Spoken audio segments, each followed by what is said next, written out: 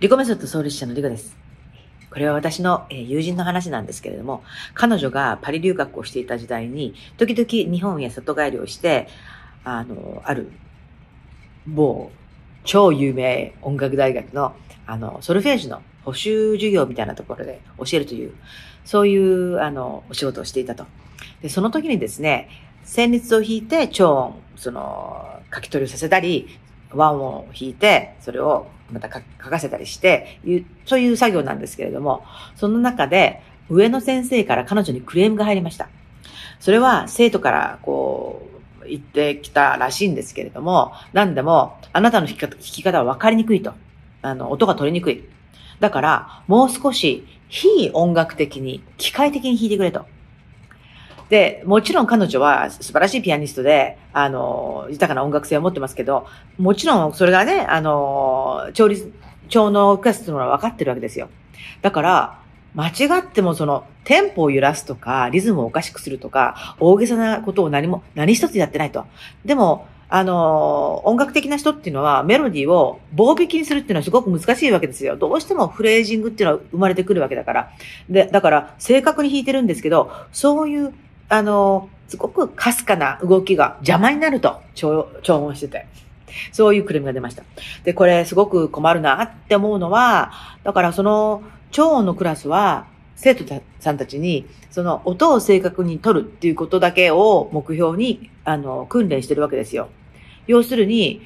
その音が正確に分かったところで音楽的にどういう意味を持つのかっていうことを、あの、抹殺する。そういう、あの、考えを持たせない。という、あの、うん、あんまり良くないですね。で、こういうことはその、大きな生徒さんに限らず、小さい生徒さんの時でも、その、先生方は本当に良かれと思ってやってらっしゃるんですけれども、その、あの、例えば、あの、音符早読み、早読み、ゲームみたいな感じで、ドレミ、ミファソ、ソファミ、ミ、ミ、ファミ、ファミレミファ、レミファミ、ソとかね、パーッと読むんですよ。読むのはいいんですけど、そういう訓練を1日50枚とかやってると、学校を見た時にね、あ、ドレミって次はどこに行くんだろうっていう気持ちだとか、あと、ソファンミンミンミンミンミン、あ、レンダだな。これからじゃあ何、何に蓄えてるんだろうとか、そういう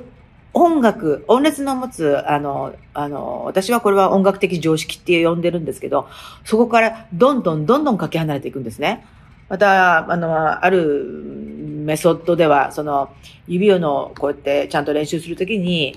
ピアノの鍵盤でやってると音が鳴るので、の耳がちょっとそれになんか、あの、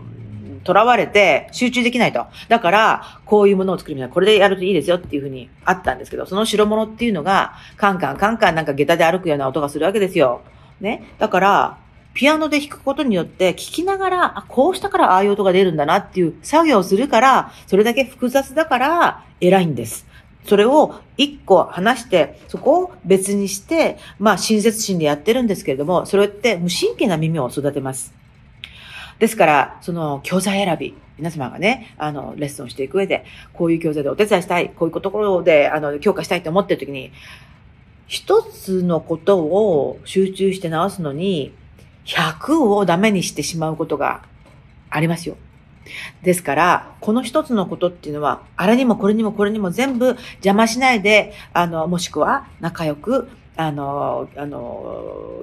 共同できる、そういうアイデアなのかな、テクニックなのかなって考えながらやっていただきたい。そうでないと、せっかく頭の良くなる楽器とね、もう言われて久しいですけれども、そういうピアノをやってるのですから、ぜひぜひ、副作用、お気をつけくださいませ。